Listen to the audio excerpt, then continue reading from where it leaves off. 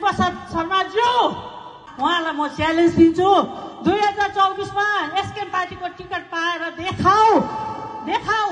र तिमीलाई म बेसीको बेसीको बोझ बनाउँदिनँ बेसीको दुःख दिँदिनँ खालि एसटी पार्टीको क्यान्डिडेटलाई एकै भोटले जितेर देखाऊ। म राजनीति छोडिदिन्छु। यहाँ तपाईँहरूको अगाडि मैले घोषणा गरेँ। एकै भोटले जितेर देखाऊ। एसटी पार्टीको क्यान्डिडेटलाई है? तपाईँले नबिर्सिनुहोस्। दुई हजार उन्नाइसमा तपाईँ कुन चाहिँ घरमा बस्नुहुन्थ्यो कहाँ बस्नुहुन्थ्यो? टिकट पाएपछि एसटी पार्टीले पार्टीको फन्डबाट तपाईँलाई गरिब आवास योजनाको दुई कोठेको घरबाट। रोड लेभलमा तिन ताले बिल्डिङ साठी हजारमा रेन्टमा लगाउने चाहिँ त्यही एसटी पार्टी हो है। तपाईँको घरमा बस्ने चौकी धरी नहुँदा लगेर तपाईँको घर भरिदिएको है। त्यो कुरा नबिर्सिनुहोस्। नबिर्सिनुहोस्। हामी त जिउँदो आँखाले देख्ने प्रमाण हो। कसैको बगम खुसे कुरा गरेको छुइनँ। यहाँ साई बाबाको मन्दिरको माथि बसेर मैले भाषण गरेछु।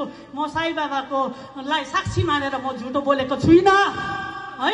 त्यो मञ्चमा त्यो बिल्डिङमा साठी हजारमा उहाँलाई पार्टीको फन्डबाट रेन्ट लगाएर दुई महिनाको इलेक्सनको लागि उहाँलाई घर त्यहाँ सारेको गरिब आवास योजना दुई कोठे घरबाट है?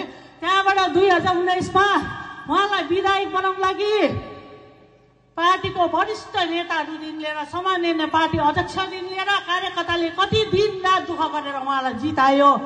तर जिताएको चार महिना नभई उहाँले पार्टीलाई धोका दिएर महा दाममा बिक्री भएर उहाँ जानुभयो र अहिले फर्केर जुन पार्टीले जन्मायो जुन पार्टीको हगेको ल्यान्डले आज त्यही बाउलाई च्यालेन्ज गर्नु चाहिँ सुहाउँदैन है।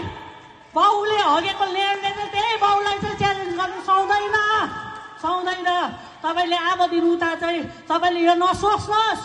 यस्तै पार्टीको कार्यकर्ताहरू डर छिरुवा छ भनेर तपाईँले डर र त्रासमा तपाईँहरूले चार वर्ष राख्नुभयो। अब हामी डर्नेवाला छैन डराउनेवाला छैन। जनताको साथ यस्तै पार्टीलाई छ।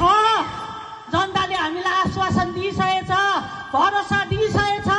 हामी यसपालि महापरिवर्तन गर्छु भनेर उहाँले वचन दिइसकेछ भने हामीले अब डराउनेवाला छैनौँ। र तपाईँलाई मैले यो मञ्चबाट पश्चिम सिक्किमको दरम दिनबाट मैले च्यालेन्ज गरेँ। दुई आफू आफूसितै पहिला लगेको सिएलसी प्रेसिडेन्टलाई जिल्ला पञ्चायतमा जिताउनु नसक्ने।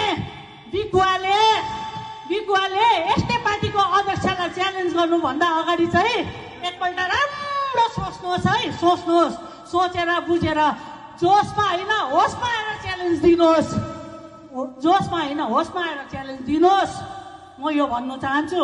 तपाईँलाई यहाँ माननीय हाम्रो वरिष्ठ नेताहरूलाई सायद कता कता अप्ठ्यारो उहाँसँग म एकदम माफी माग्छु है सर कतिवटा कुरा चाहिँ हामीले नभन्नुपर्ने हाम्रो सामान्य अध्यक्ष महोदयले पनि नभन्नु भन्छ। तर हामीलाई पनि बहुत दुःख लाग्छ सर। जुन पार्टीले जन्मायो आज तपाईँ हामी तपाईँ पनि तपाईँहरू पनि घरमा तपाईँहरूको पनि छोराछोरी छ मेरो पनि छ है। हामीले जन्म दिएको छोराछोरीले हामीलाई नै फर्केर है। हामीलाई नै नराम्रो भन्दा कस्तो लाग्छ? आज मैले चाहिँ त्यही फिल गरिरहेको छु र आज पवन चामलिङ साहबको दुःखलाई म महसुस गर्छु। है महसुस गर्छु। आज उहाँले निम्न परिवारदेखि लिएर मुनिलो मुनि ग्रासरुटदेखि लिएर ग्रासरुटको कार्यकर्ताहरूलाई उठाउने उहाँले जहिले पनि पच्चिस वर्षको सरकार कालमा जहिले पनि त्यो गरेको छ।